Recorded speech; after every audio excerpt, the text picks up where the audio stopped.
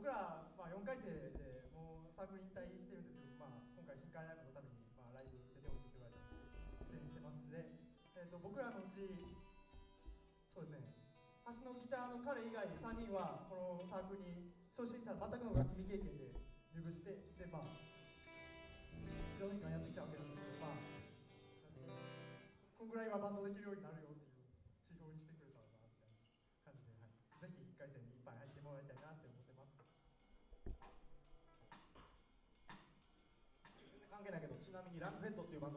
人。